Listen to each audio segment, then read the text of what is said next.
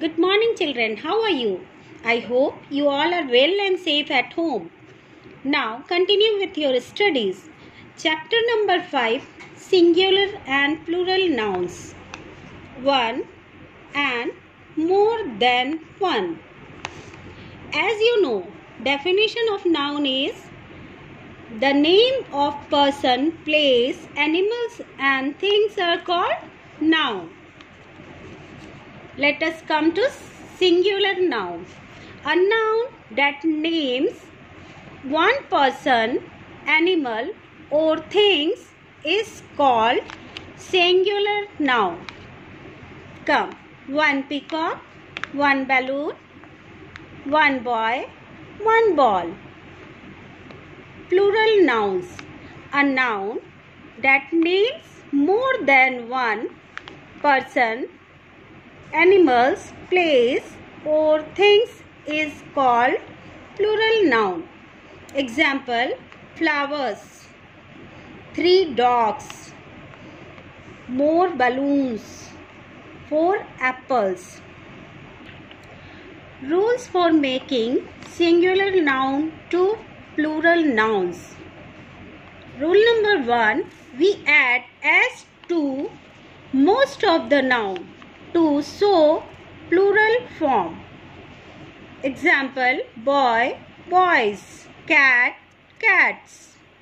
Example number two we add es to nouns that end in ch, sh, o, s, double s, x and z to get their plural. Example glass, glasses, bench, benches, fox, foxes. Rule number 3.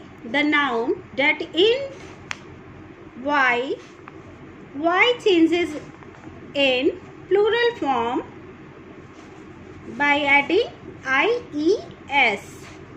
Baby, babies. City, cities. Rule number 4. The nouns that ends in f or fe. We place the f or fe with ves. Example knife, knives. Leaf, leaves. Rule number 5. A few words do not follow the rule. Chef, chefs. Toy, toys. See here children. These words are not following the rule of changing singular to plural number. 6. A few singular nouns form their plural form by changing the inside vowel or vowels. Example child, children, tooth, teeth, etc. Now homework time. Chapter number 5, page number 1920. And note down all the rules in your homework notebook. Again I explaining chap homework chapter number 5 page number 1920 and note down all the rules in your homework notebook. Thank you.